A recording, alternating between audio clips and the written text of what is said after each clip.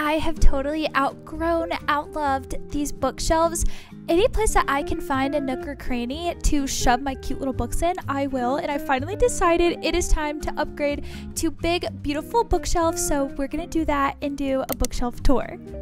It is time that we add some more bookshelves to our book corner. Hi guys, what's up and welcome back to my channel. Hello if you're new and if you are new, thank you so much for clicking on this video. I'm so glad that you're here. I am running out of space. I have too many books and not enough places to put them. So Ian and I bought three huge bookshelves. They're like six feet.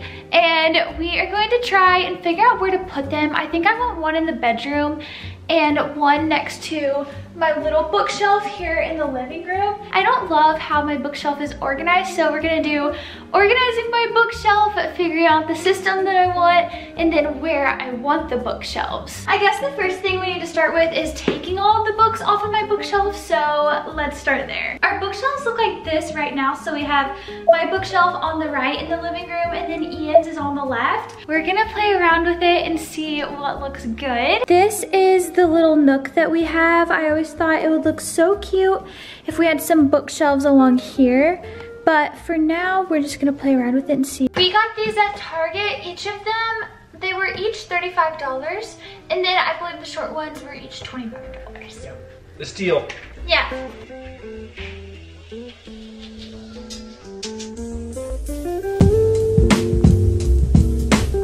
Okay, let's get into it. I am so excited. Rewatching this footage just gets me so excited all over again. What I decided to do was take off all the books off my bookshelf. I wasn't even obsessed with how they looked on this small bookshelf because I was running out of space. So I pretty much was just organizing my books the most efficient way. I wasn't as worried about aesthetics as I was practicality. So whatever I could do to make more books fit is what I did. And now I'm so excited to actually have space and room and more shelves.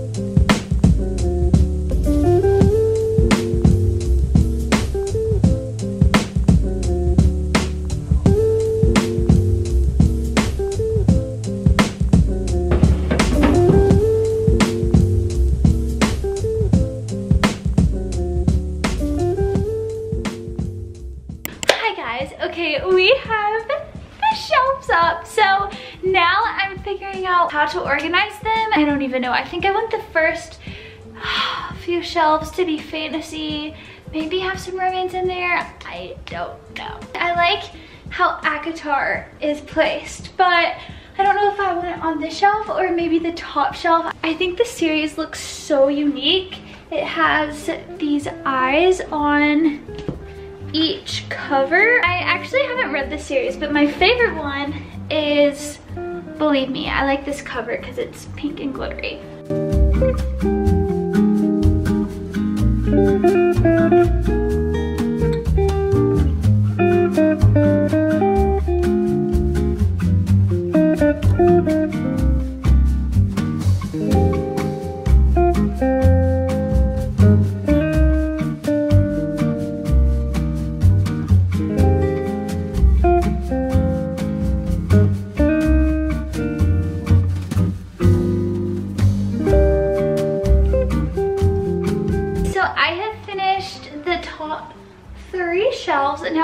Bottom two. I am thinking that I don't have enough books to fill up all the shelves. So I'm trying to think. I like how I've been turning some of them front facing and I really like that, but right now I am going to store all of my romance and my mystery thriller next. I know I have more romance than I do mystery thriller, so I'll probably fill these two shelves up with romance.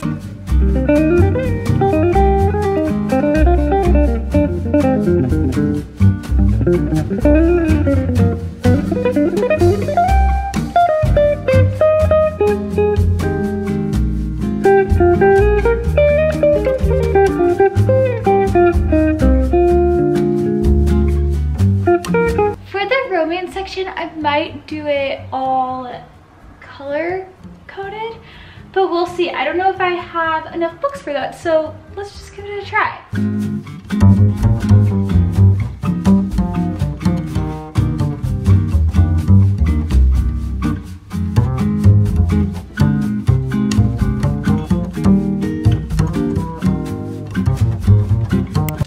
Okay, I am all done and now it's time for the bookshelf tour.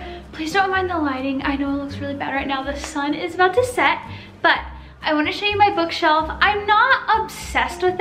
I don't, I, I just, I'm not loving it. The bottom shelf is really annoying me, but I have no other option. So I have this bookshelf here, and as you can see, it's now empty. I just don't have enough books, so as I build up my library, eventually this one will be full too, and it'll just look so pretty. But for now, we have this beautiful bookshelf. Okay, starting with the top shelf, I have the Inheritance Game series. I absolutely love this series, and it was hard for me because I love the tabbing that I did on this series. All of the tabs are green on this one and then we have different shades of blue and then reds. I kind of like how it's catty cornered like that a little bit. You can kind of see the cover and the covers on the series, they are so cool. Over here I have the Shatter Me series. So I have the Shatter Me novels right here and then the novellas are right here. They're really small so you can barely see them, but there's two right here. I have not read the series yet, but hopefully I can get to it this month or next month. And I just love the covers too, so I really like them right there. Now moving on to probably one of my favorite shelves. We have ACOTAR.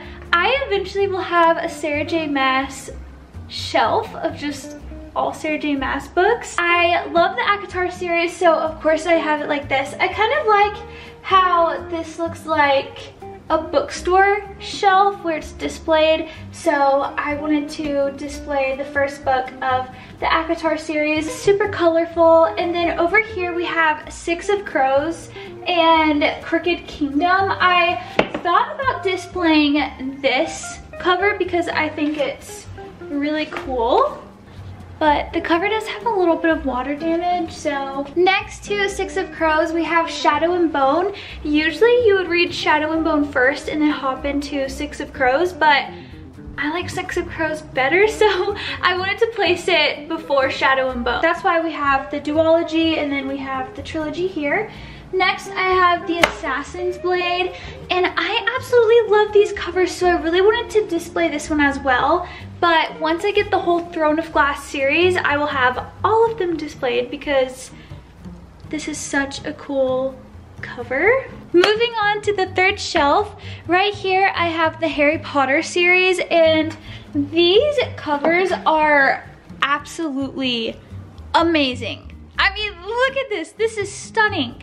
And then the backs are so unique. They have quotes from each book. So this one's from Dumbledore and it says, It does not do to dwell on dreams and forget to live. Remember that. I love how the illustrations look on the back as well as the front. This is the Chamber of Secrets. This is the back of Chamber of Secrets, The Prisoner of Azkaban. And then we have the Goblet of Fire. Then we have the Order of the Phoenix. That looks so good. The Half-Blood Prince. I love that. And lastly, Harry Potter and the Deathly Hallows. Look at that on the back. Oh, so good, so good. And then once you put all the spines together, it forms a picture of Hogwarts, which I think is so cool, but I also love the front covers as well, so it's really hard to pick which one I want to display, but this is so cool. Next, I have Caraval. I actually have not read Caraval yet or the series, but I've heard mixed reviews, but I still wanted to pick it up because I haven't read anything from Stephanie Garber yet, and I really want to read Once Upon a Broken Heart, which is next. And so I kind of just have some more fantasy standalones or um, the first book of a series right here. And then I have the Hazel Wood duology right here. So I have Hazel Wood and the Night Country. And then that kind of ends it for fantasy. And now moving on to romance.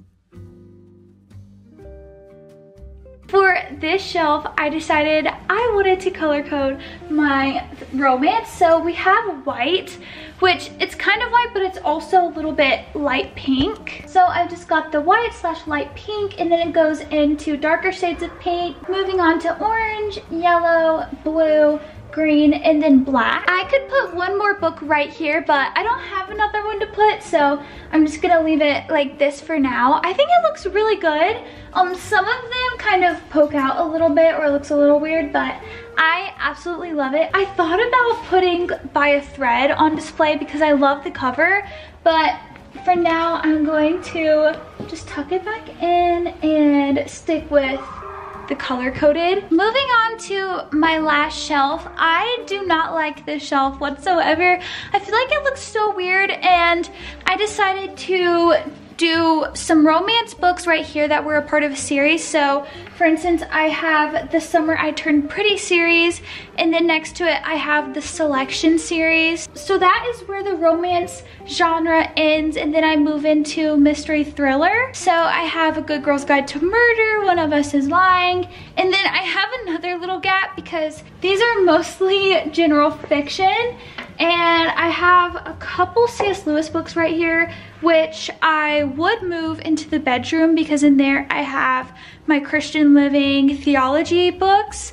It looks good right here, but I also feel like I should move them with my other C.S. Lewis stuff, so. That is it for building my new bookshelf and my bookshelf tour. I hope you really enjoyed. I just don't have enough books. I need to fill all of these shelves, so maybe you'll be seeing another bookstore vlog from me soon. If there are some of your favorite books that you have heard me mention or talk about or that you haven't seen on my shelf, you can always go to my Amazon wish list and you can share with me what your favorite book is. Also, comment down any book recommendations you may have because I need to fill these babies up.